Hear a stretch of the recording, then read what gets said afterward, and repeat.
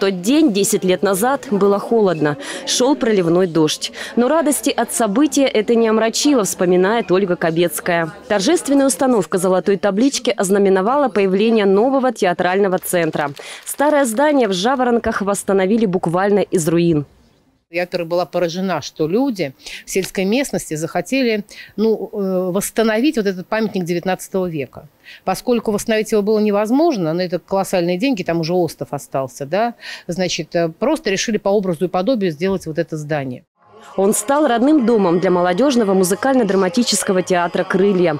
До этого коллектив уже 7 лет работал на небольших площадках – в школе, в Одинцовском университете, в Доме офицеров – Получив свою сцену, буквально через пару дней труппа представила первый спектакль и закрутилась.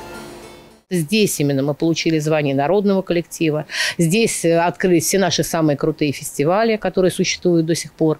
И здесь в этом году мы получили статус э, настоящего профессионального театра. Десять лет пролетели как один день. Сегодня здесь с успехом проходят спектакли и фестивали «Магия кино», «Взмах крыла», «Наш дебют» и другие. Но главное, на этой сцене сбываются мечты, и юные актеры становятся настоящими профессионалами.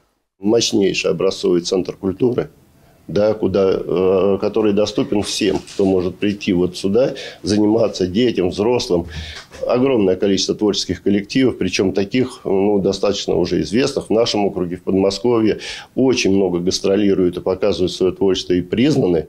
В свой юбилей театральный центр встречает верных друзей, радует преданных поклонников отрывками из разных спектаклей и, конечно, принимает в свой адрес теплые поздравления.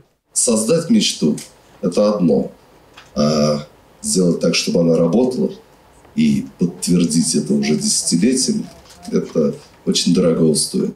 Полина Бахова, Станислав Трифонов, телекомпания «Одинцова».